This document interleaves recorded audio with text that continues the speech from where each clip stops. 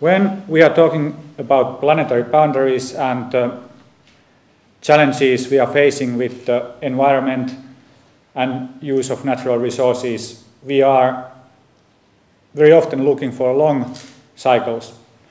Uh, some 65 million years ago, there was a very dramatic climate change which uh, killed all the dinosaurs and related species. And uh, now we know, at least, it's, it's likely that we know that the change was because there was a uh, large meteor hitting uh, Earth, and that created such, such a uh, change, rapid change of climate that certain species which were used to the earlier state of the environment were not able to cope with that change. Uh, and, um, and climate change is uh, typically, it's one example of environmental issues, but it's, we have a long-term perspective here. And now when we compare this man-made climate change, we are actually approaching the timescale of a couple of tens or hundreds of years, which is when we think of geological cycles, it's nothing. And it could be comparable to what happened uh, some 65 million years ago. Uh, this is a fairly uh, new emerging field of research to think uh, in scientific terms what are actually the planetary boundaries. So the basic understanding has been there and these separate fields have been studied. So behind all these fractions here, climate change, biodiversity loss, chemical pollution, other, other issues presented here, there is a large body of scientific knowledge. So basically natural sciences, biology, uh, ecology, this type of, type of sciences, uh, physics uh, are needed, needed here. And this is the best current understanding of the planetary boundaries what, what we have. Here, this is uh, based on article published in, in Nature some three years ago, and uh, according to this understanding, there are three planetary boundaries which we already have exceeded. So climate change is fairly well-known issue, and, uh, and the green circle here shows the safe operating space for humanity. So in, in a way that is below the tipping point uh, uh, of the planetary processes. But there are two other cycles which already have been exceeded in, in much larger extent.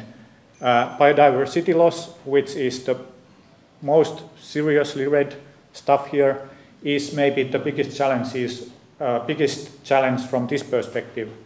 And another cycle, uh, the planetary process, which we already have seriously exceeded, is nitrogen cycle, which is not so well-known issue.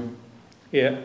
Uh, the imbalance to uh, nitrogen cycle comes from, from the uh, nutrient uh, or fertilizer production. We take nitrogen from the atmosphere, convert it to a form which can be used in agriculture, and then the excess nutrition flows, they uh, flow to the waterways, create, uh, create eutrophication as, as a main environmental impact. And this is, uh, we think there is an abundant amount of nitrogen in the atmosphere, but the cycle of nitrogen has been seriously disturbed because of this fertilizer production process.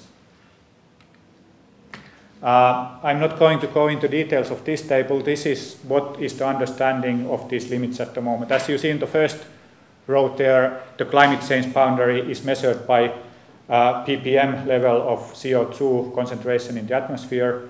Uh, 350 is the uh, fairly uh, well-known or shared understanding of what is the uh, boundary we should be aiming at in order to keep the climate change in control. And you also see that this is an ongoing process like science always is. Uh, for example, for chemical pollution, what is, whether we already have exceeded the uh, planetary boundaries or not, it's not a large group of researchers. Behind this article, there are maybe 50 scientists as a name put in this article. So uh, it has, uh, the process is ongoing, how to even uh, determine uh, what, how to measure the planetary boundary for chemical pollution. And I'm, I'm afraid when that is defined and quantified, we realize that we have already exceeded that planetary boundary as well.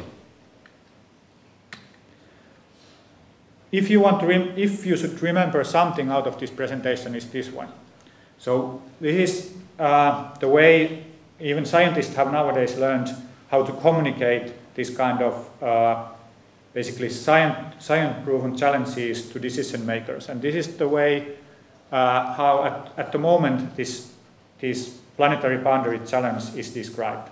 And it's 369.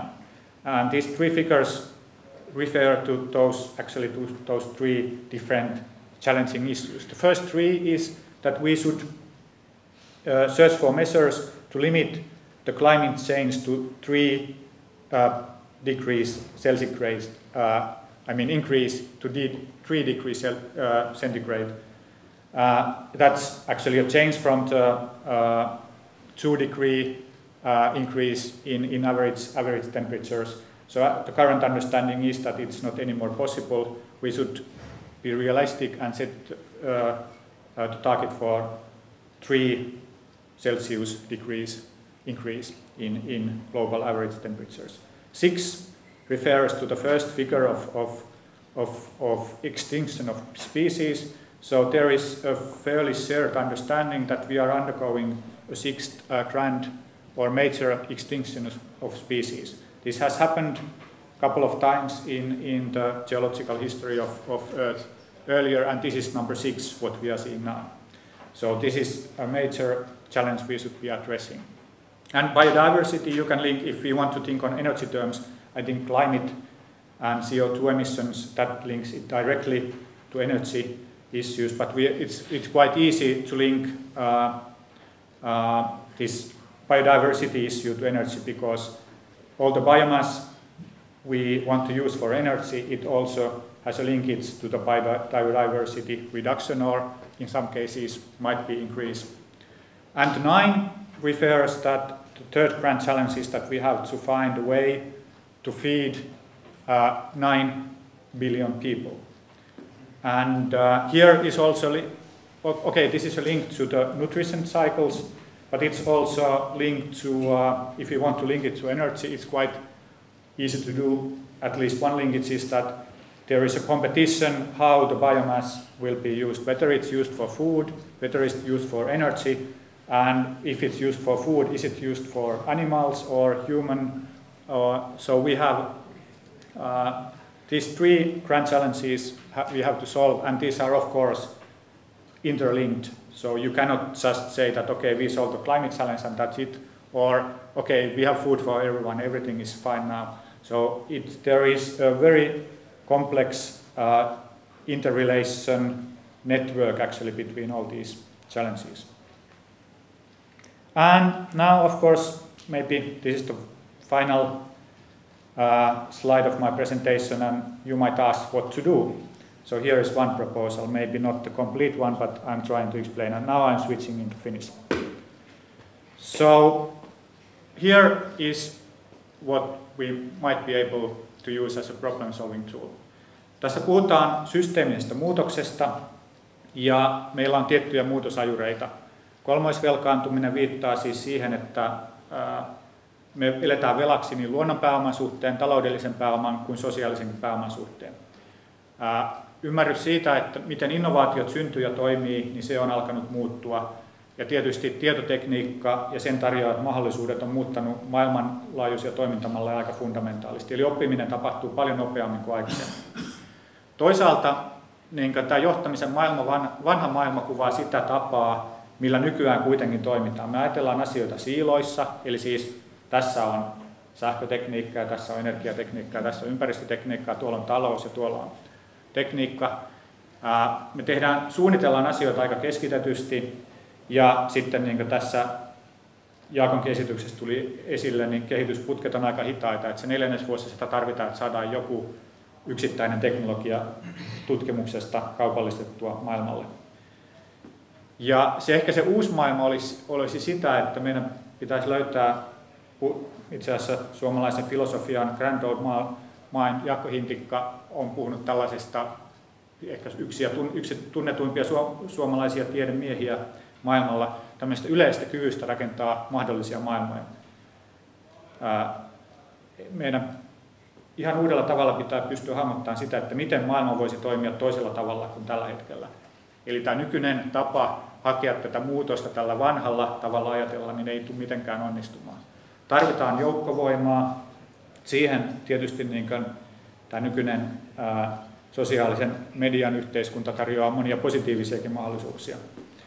Ja tietyllä tavalla paljon nopeammin saada tämmöiset hyvät ajatukset tuonne radalle ja käyttöön. Muutostyökaluja, niihin nyt sitten tässä missään tapauksessa en pysty menemään tämän enempää, mutta tietyllä tavalla kaikki nämä globaalit ää, muutokset on näkymättömiä. Me ei nähdä sitä, että typen kiertokulku on häiriintynyt tai että biodiversiteetti vähenee, muuta kuin ihan saattaa olla, että siellä jossain mökin nurkalla ei enää joku tietty kasvi kasva, vaan siellä on joku vieraslaji vallottanut alueita. Eikä me nähdä sitä, että keskimääräinen ilmaston lämpötila nousee. Me havaitaan vain se, mikä säätilanne täällä, tällä hetkellä meillä on, tai ehkä nähdään jotain pidemmän tähtäimen ilmastokehityskulkuja aika paikallisesti kuitenkin.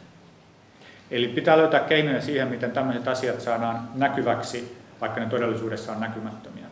Tarvitaan älyllistä ristipölytystä, eli eri asioiden ja erilaisten näkemysten yhdistämistä.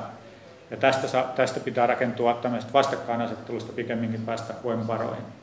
Ja aika selkeää on se, että tarvitaan käyttäjien mukaan, eli ilman niitä 9 miljardia tämä homma ei onnistu, eli tämmöisellä keskitetyllä että suunnittelulla niin tässä ei hirveän pitkälle pötkitä.